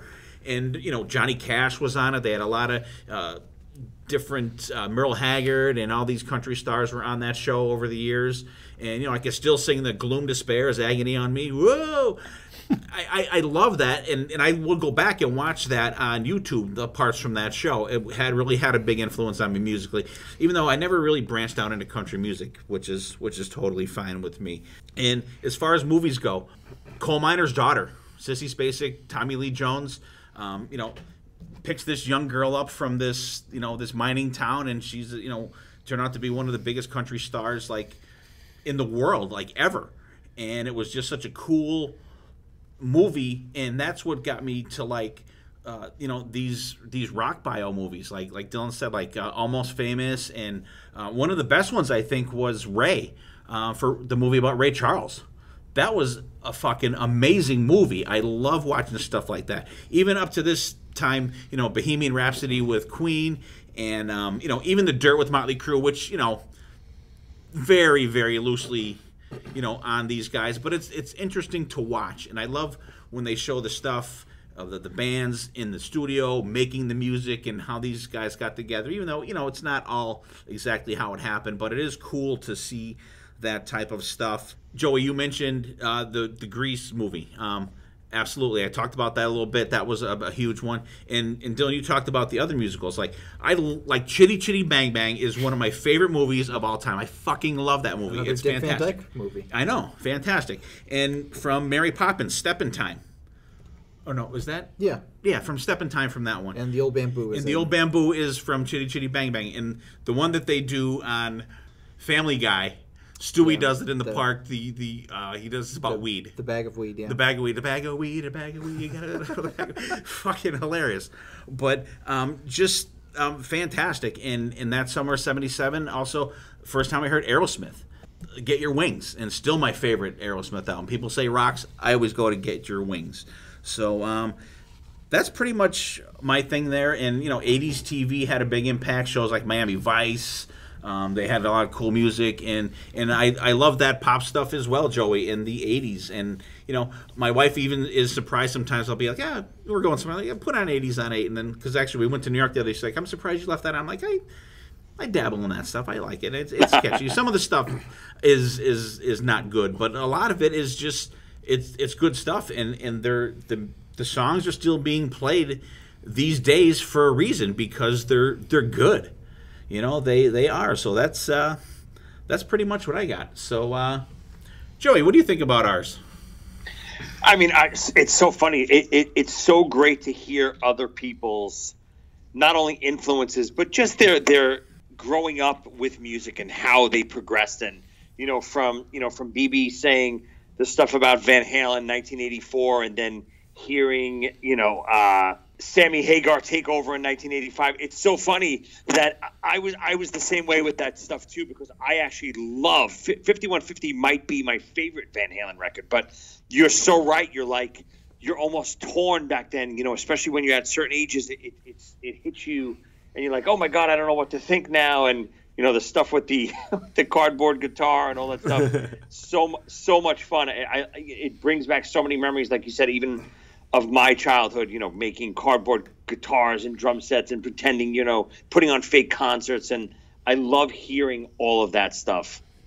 You know, and then you know BC talked about magazines. I can't believe I forgot magazines. Magazines. What a huge influence! I it had to have been on all of us. I mean, it's because that was the only place you could get any information. Mm-hmm. I mean, very rarely you would listen to a radio and you'd hear maybe an advertisement. Oh, kisses, then you know Kiss, see Kiss live you know next month, whatever. But very rarely because you'd have to catch it at the exact time. Where where magazines were the only thing besides you know vinyl sleeves and vinyl jackets that you could sit and just stare and read about your favorite bands. Magazines were mm-hmm. so important. I, I, I'm mad that I missed that one. and then Steve, of course, you too. You know, from Elvis, starting with Elvis and Elton John, and you know all that stuff. Uh, you know, all of that stuff is major, major influences on me as well. I- I didn't put it in the top five just because I had to limit it, but Elton John, Billy Joel, um, Frampton Comes Alive. I mean, all of that stuff is such. It had to have influenced almost anyone that likes rock music today, especially Kiss fans. I think we all kind of have that same background. All right, cool. I'm done. Really good influences from everybody. Something that I could relate to uh, from everyone. I think uh, BB Norwegian Wood.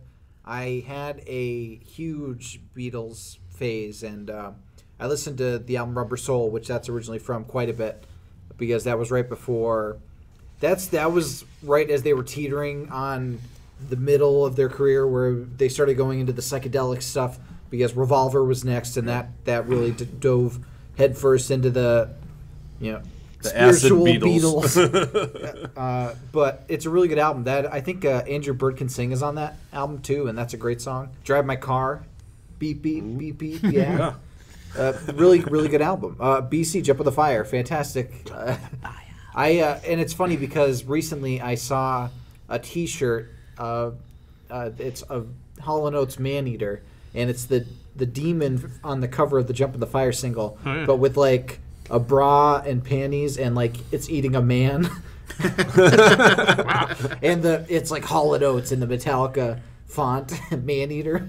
Uh, it's a, actually hold on, let me see if I can pull up the T-shirt real quick. I would love to be able to find that record. Yeah, there's the there's the T-shirt. You could probably make a payment on your house with it if you bought it. Oh, good. Look at that. It's fun. And uh, Dad, there's a lot of stuff. Uh, I remember when we were in Nashville, we were spent a good portion of that time looking for the vinyl of Aloha from Hawaii. That was a very very important uh, journey that we Finally got it. we did. Uh, do you feel like we do? Frampton was my first concert that I ever went to, so that that's really uh, an important song that's near and dear to my heart. And of course, you know, Chitty Chitty Bang Bang and Mary Poppins were two musicals that were constantly played in the house. Yeah, it's uh, it's really cool hearing everybody's influences and how you got to be where you are. Cool. BB. Uh, yeah, definitely. BC, when when you were when you were talking about Motley Crue, um, it kind of the light switch went on. I, I remember my neighbor across the street. He bought the uh, Shout at the Devil album, and he had the one with the, the pentagram on it. And you're like, oh wow, this must this must be really bad because that means like it's like has something to do with the devil and stuff. So he bought it, and we get home and playing it, and it's like in the beginning, you're like, then it's like shout out the get shout out the devil. I'm like, whoa, 'cause I, I can just picture myself exactly where I was in that in in my neighbor's bedroom when we First listened to that album. I'm like, holy shit, that's just it's just crazy how like boom like that you're like boom you're right back there, and uh, in in Steve's story, uh, it, I love the hee haw. Because I remember my parents used to watch that all the Lawrence time Welk. too. Mhm. Lawrence- used to- yeah, my Lawrence grandmother used like, to people. watch Lawrence Welk all the time, and the bubbles would be flying, and she'd be over kind of moving in her little apartment, dancing around, and I'd be sitting there. Yeah, and even even Donnie and Marie back then when that show Oh, was yeah, on the the air. Osmonds, yeah, you know, sure. uh, um, I'm a little bit country. I'm a little bit rock and roll. But at least Hee-Haw had guitars. They did. Lawrence Welk was that guy. No, Lawrence Welk was all the waltz shit. Yeah, definitely two great stories, and it's did have a just cool how it bubble just machine, brings though. up. Oh yeah, the bubble machine, yeah. But uh, it's just great how it just you know you talk about certain things and just think certain things just pop in your head. You're like, oh yeah, but uh, love it. Yeah, uh, since we have Joey on, I'm going to go back to uh, one of my favorite ZO2 memories. Uh, me and uh, one of the guys I work with, uh, we're Buffalo Bills fans. I know we're going to get abused here. But uh, we used to go to a game every year. We pick a home game to go every year. And I want to say it was like probably 2009 ish. The Bills would do a home game in Toronto, Canada. And we said, hey, let's do let's go to Toronto, Canada this year. I'm like, oh, okay. So in the meantime, I just got a, a Jeep Laredo off a friend of ours, Steve's brother-in-law actually, and uh, here we are going up to the border. and We're all ready to go. Okay, it's gonna be we're going up like Friday, Saturday, Sunday. We're gonna have a great time. So here we get to the border. Oh, what are you guys doing? Uh, going to football game. Okay, and then some other things. They go okay. Two other people come up. They look at the car. They ask more questions, and they said, uh, "Can you guys pull over to the side?" So we pull over to the side, and the guy I'm with is a nervous wreck to begin with, let alone when uh, authority is in, involved with this. So we pull in, I pull up, and he goes, "What's going on?" I said, "I don't know. Oh, you know, there's nothing in the car, right?" So they, a lady and a guy come out from this building, and they ask us more questions like, "Where you going? What you doing?" You know, da da da da. So we're like, "Oh shit!" So they asked us to get out of the vehicle and go over and sit on the bench. So we got a vehicle, send a bench, boom, they, they pull the hatchback up, they're pulling our luggage out. Now the guy went to sh- shitting bricks. And I'm laughing, going, I hope they don't find a knife. He's like, what the fuck you mean nice? I said, well, it's, da- it, it, it- it's, it's a Damien's car. I said, he probably, he probably forgot a knife or two in there. You're kidding me. You're kidding me. I said, well, we're going to find out. so boom, boom, they're going to the car to pour everything out there. And the lady comes over, she goes, why do you have the so-and-so of spades? And I'm looking at her like, what are you talking about? Because I have no idea. I have the Casino Logic CD, and inside the CD was uh, each of you guys had a, a card with your pictures on it.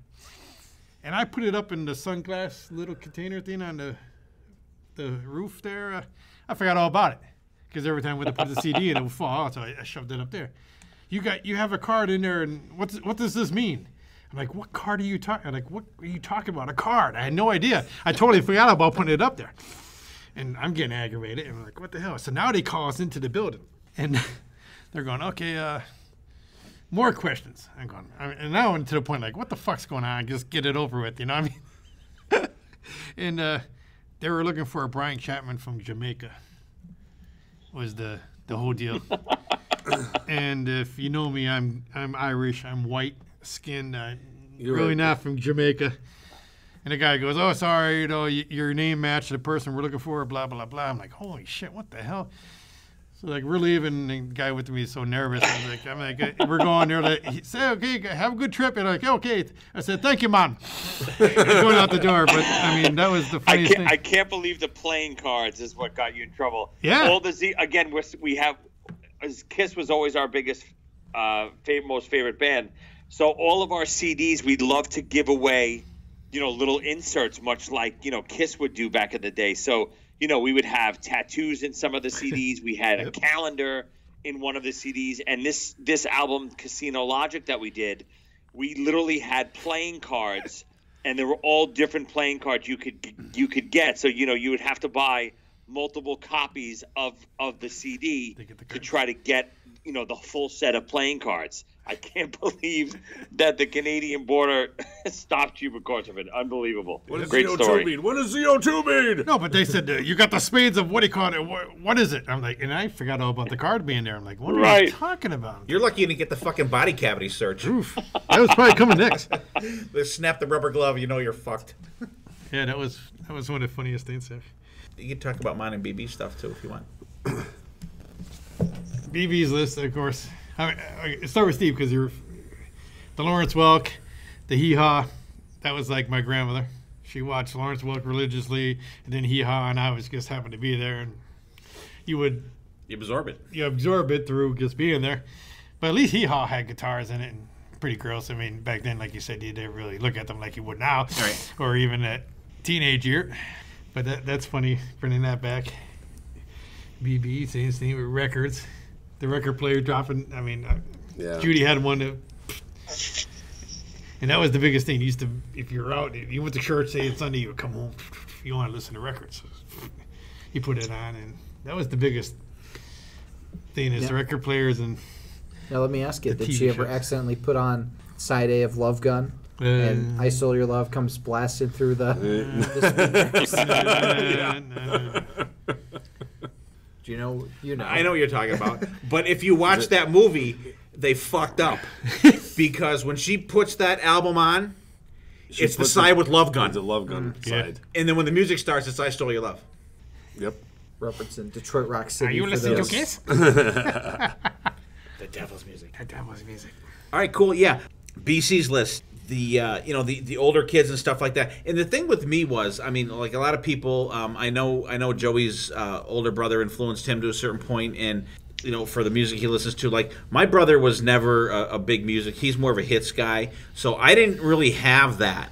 Um, but it was cool that BC had you know those older kids, and, it, But- but and like you can't said- even know who they are. No, but like you said, you you hear a Kiss? Uh, no. Like, Yeah. You didn't want to say nothing because they're older than you. You don't know them. They're bigger than you. So of course you're like uh, intimidation. Yeah, for sure. And um, I mean that was that was very cool. And and I'm with Joey too. Magazines, I totally forgot about friggin' magazines. Um, and you know we used to go to the same spot, Shaw's. We were probably in the store at the same time at some point. you know we didn't really know each other at the time. Um, Circus magazine. and that was and actually I think it was Hit Parader. Um, that's how I first discovered Judas Priest, and um, they were talking about Unleashed in the East, and that's when I when I that was the first album I picked up because I remember them um, talking about in the interview talking about Rob Halford riding riding the Harley on stage, and he's like, you know, maybe someday I'll ride a snowplow on stage, and I'm like, oh, these guys must be pretty cool. So I picked up Unleashed in the East, fucking awesome. Um, BB, the the records, and and and I got to bring it up too. The record player where that you could stack the records. Um, every night, you know, when when we were growing up, me and my brother, you know, he'd have some albums, I'd have some albums, and we, you know, he like one night I would get to put the first album on, and the next night he'd put the first album on. We'd stack like four albums and, and just let it play off, and and you'd go to bed, and it would automatically shut off when you're done. Like now with the turntables you get, it's just you got to get up when the side's over and move the fucking needle, you know. But like that was cool back in the day. The albums would just drop, you know. Like you'd, you'd one night you'd play like, you know, side two, side three, and you know, and the next night flip them over. And and actually, if you look at, um, and I noticed that on Rush, All the World's a Stage, side one and side four are on the same disc on the same album, Inside two and three are on the same one. So you could play. So if you're going to do that, you could do put one, two. you Oh, could yeah. play side one, and then side two would drop next. And then if you flipped them over, side three and then side four would drop next. If you had a player like that, so it was very cool. Um, and, and Ed with the Beatles and stuff like that. I'm a, I'm a hits Beatles guy. You know, I can go with that. And, and I and I totally understand you with the with the Van Halen thing. And I don't um, hate Sammy Hagar with Van Halen. There's a lot of stuff that I like. It's good, but I do prefer Dave. Just very cool. Go ahead, Dylan. Uh, you actually reminded me uh, when you're talking about magazines because magazines was also kind of an influence on me too because whenever we would go to, to Borders because I would always demand whenever we were going shopping I would want to go to the bookstore. Almost nobody else wants wanted to go with me, but every time I would go I would I see. with. Yeah, you did. I would. Uh, I would see Classic Rock magazine. And Classic Rock magazine, it's a UK import, and they always had a sample disc. Sometimes it was like a covers out, like a covers album of different artists doing a tribute to a band. Um, other times, the one time they had the full album from The Answer, Demonize, on there, and that's how I got into The Answer was through that magazine. So magazines are even today still. It's Awesome, funny. yeah. Talk about uh, Circus Magazine. Get on Facebook. Punch that in. People have all these Circus magazines, A bunch of different ones come up. and they, they're selling them for crazy money. That's Really? cool. All right, very cool. Um, th- now, all right, did everybody go? I believe so. Okay. All right, because I don't want to mess it up again. All right, so guys, um, let us out there know what what your influences are. You know, bring them up, and we'll you know we could even talk about them when you guys you know if, if you if you resonated with something that one of us talked about, you know, let us know. Interact with us. Let us know on that. And what we'll do now is we'll go around the table, and everybody can say their goodbyes. We'll let Joey plug his book and everything, and uh, we will wrap up. So, um, Dylan, go ahead. First off, thanks Joey for coming on. It was a pleasure to to talk with you and have you on the show. Uh, you have some awesome influences, and uh, we were really happy to have you on for sure. I uh, I think this was a cool episode. I, I really enjoyed hearing where everybody came from, their their origin story almost. We hear bits and pieces where we get our influences from on the podcast throughout, but it was cool to get a definitive. This is what I think defined how I got into music, and it- it's just a really fascinating look into to each and every one of us. And I'm really happy that we got to do this kind of episode. And I think we'll have a Spotify playlist of the week featuring some of the the influences that we had that we listed, maybe some musical stuff, um, definitely some Kiss since everybody mentioned Kiss for the most part. Uh, there will be some some cool stuff I think that we could put on the Spotify playlist of the week for sure. Yeah, definitely, Joey. Thanks for coming on. You know, it's great talking with you. Uh, finally, after we, you know, actually got you on here, but uh, this is just great. How everybody has like that foundation of music. How you, you know, from Hee Haw or Elvis, the, you know, me with the the doo wop guys. It's just great how everybody how you just see like everybody's story kind of evolve. How you go from little that and then we're all of us all of our roads almost pretty much cross at some point mm-hmm. and it's just great to see different ages different you know musical taste but somewhere the five of us cross in a in in some kind of of path in this this musical journey that we're all on and it's just a great great story that we we all told. You know, definitely bringing back crazy memories. Um, just fantastic. You know, I, I hope everybody out there kind of interacts with us because you know I I love reading you know certain stories that people have out there just to how they you know even how they got to listen to Kiss, their first album. You know, who knows? Maybe it's a, their first album, maybe like Unmasked or something. You know, you know, m- mine was double platinum, and I never knew double platinum was a was a greatest hits Greatest for hits. who knows how long. but uh, just a great episode and great talking with you guys about you know where you guys got your influences from. It's just a fantastic topic. Again, uh, great having you on, Joey. I mean, I got to tell my story of the ZO2 uh, Canadian border incident. And uh, I, I love watching all your stuff on Facebook. I mean, uh, the thing that sticks out the most is you and your daughter playing the drums. I think that's so cool. But uh, this is a great episode. I mean, it's so fun hearing our stories and Dylan's age group stories of how we all got into what we got into this crazy thing called rock and roll. And it's it, and there's so many things that people talking here that trigger more memories. As I'm sitting here like, oh shit, yeah, the record player and hee haw. I mean, fuck, I can remember Saturday nights hee haw. That was the big fucking thing. But uh, totally another great fun episode. Excellent. Uh, Joey, go ahead, my friend. So first, guys, absolutely thank you so much for having me on. I'm a big fan of the show. Love listening to you guys. You're always funny to to listen to. Again, it's not just about the topic; it's about your interaction. That's what makes a good podcast, and that's what's always fun about you guys. But this actually was a good topic tonight. This was so much fun. You know, when Steve was telling me about the topic, I almost didn't grasp it at first. But now, you know, now I went through my list and you guys all went through your lists.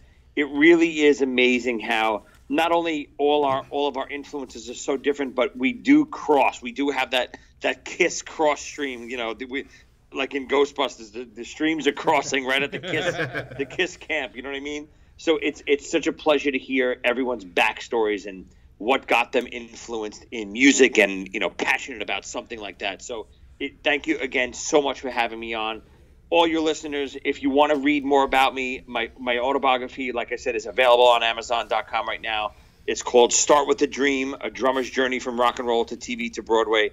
It's all about me growing up, a Kiss fan and then eventually touring with Kiss and having my own TV show, show called Z Rock it's it's just a feel good 80s nostalgia book it's it's a growing up in that time period and and if you grew up in that time period i guarantee you you will relate to a lot of it i also quickly another plug. I have my new show that's on amazon prime right now. It's available. It's called wrestling with Joeylicious.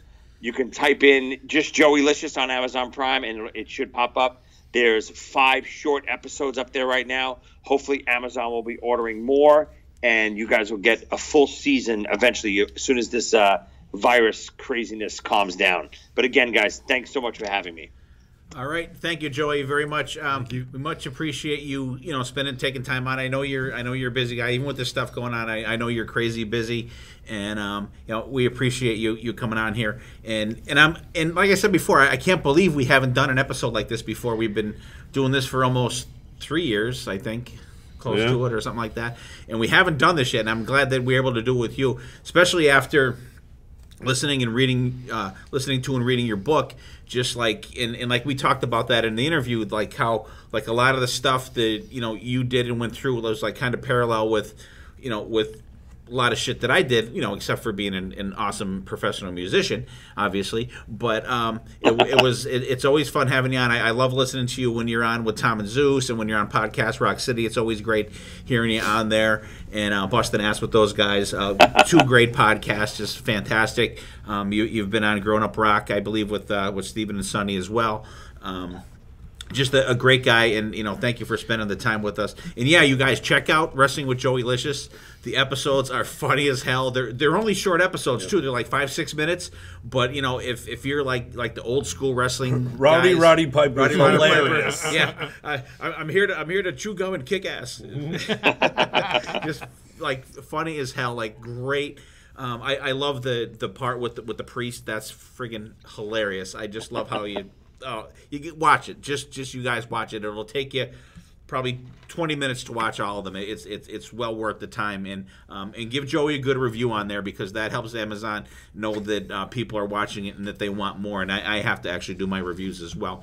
Um, and uh, it was a great topic today. It, it was fun, and and like I, I don't even know who said it. Um, that you know when you hear other people's things it triggers more of like oh yeah you know that was you know something for me as well and it's always cool to hear that and, and i like just the the conversation uh, it, it just it you know it flowed so well because it's i mean it, hey if we weren't passionate about our music we wouldn't be doing this. And it's cool to you know kind of delve a little deeper into like how you have that passion and why you have that passion. And you know and and there's a lot of great music out there now still. Um, I- I hope that there's some younger listeners out there and you know that some of the stuff we talked about some of the bands the older stuff maybe you'll check them out and you know maybe that could you know give you a stepping stone to check out other stuff it, like everything is it just I think it just builds like everything that everybody talked about. It it just steps you into another realm of you know what you listen to, what you like.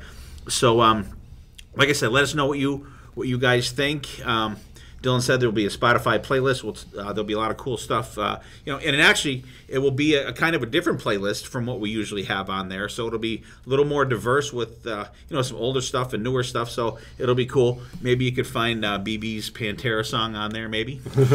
Yes. Um, so once again, Joey, thank you for joining us.